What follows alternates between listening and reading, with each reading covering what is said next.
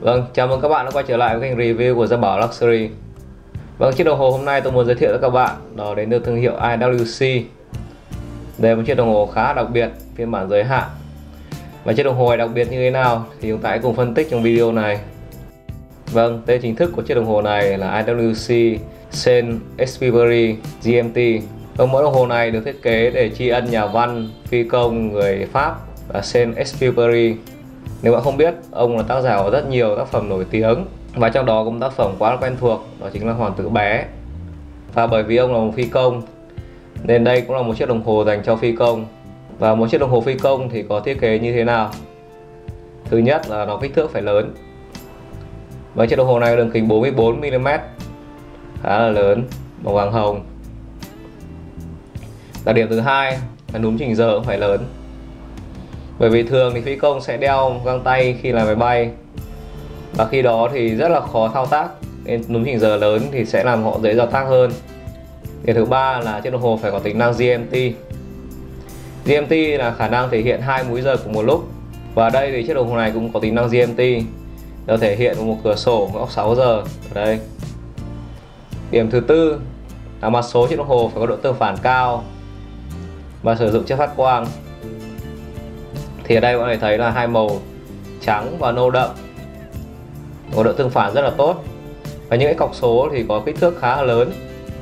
Được phủ cho phát quang. Tôi sẽ thử cho bạn xem khung cảnh ở trong bóng đêm của chiếc đồng hồ này như thế nào. Vâng bộ vỏ đồng hồ thì được thiết kế hình dáng khá là quen thuộc thôi. Bên thì được hoàn thiện trải xước này. Vành bezel được xếp bậc lên như thế này.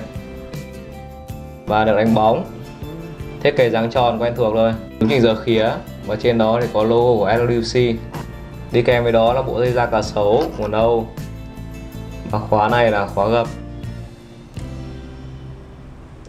Có thể thấy đây là tên thương hiệu LWC Vâng, ở mặt sau chiếc đồng hồ bạn có thể thấy dòng chữ là International Watch Company. Và được viết tắt thành chữ IWC là tên thương hiệu. Và đây là phiên bản Edition Saint Expiry là để kỷ niệm nhà văn và phi công Expery và trên đó chúng ta sẽ thấy hình một chiếc máy bay để chạm khắc ở mặt đáy. Vâng với thiết kế như này thì chúng ta sẽ không thể nhìn được bộ máy bên trong. Nhưng mà bù lại thì đây là một thiết kế khá thú vị và để kỷ niệm một phi công, một tác giả rất nổi tiếng. Ở đây, bạn thể thấy dòng chữ là 392 trên 500 đó chính là số thứ tự phiên bản giới hạn trên đồng hồ này. Thực tế thì mẫu đồng hồ này được sản xuất ở 3 phiên bản vỏ khác nhau. Đó là vỏ thép, vỏ vàng hồng và vỏ platinum. Với phiên bản vỏ thép chúng ta có 1893 mẫu đồng hồ. Với phiên bản vàng hồng thì ở đây bạn thấy là 500 chiếc. Còn với phiên bản platinum là 250 chiếc. Tổng lại thì chúng ta có 1943 chiếc đồng hồ được sản xuất. Và đó cũng chính là năm ra đời của cuốn sách Hoàng tử bé Một cuốn sách rất nổi tiếng của Expery ở mặt đáy thì chúng ta có thể thấy nhiều cái chi tiết khác, những con dấu khác như ở đây. Là số tuổi vàng AU750 là vàng 18 carat. Và đây một số triện. Tôi sẽ zoom lên cho các bạn nhìn rõ hơn. Những cái khía này có tác dụng như thế nào? Những cái khía này để giúp tạo ma sát và giúp có thể mở được mặt đáy cho đồng hồ. Ở đây là đáy xoay chứ không phải đáy cậy. Như chúng ta cũng đã biết đây là mẫu đồng hồ phi công. Và đây là tính năng GMT khả năng hiển thị múi giờ thứ hai. Vâng chiếc đồng hồ này đang hiển thị là 10 giờ sáng. Và ở GMT thì đang hiển thị là qua 24 giờ một chút. Bạn nên nhớ là cái mặt số này sẽ quay ngược chiều kim đồng hồ.